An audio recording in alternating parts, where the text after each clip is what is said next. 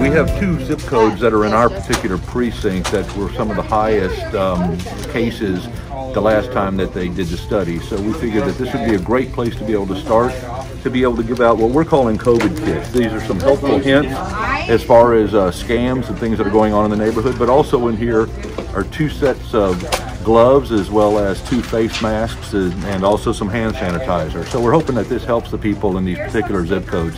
Then we planned on hopefully being able to expand out and maybe be able to uh, give some special care to some of our senior citizens. And uh, finally, where'd they come from and where are you getting all this material from?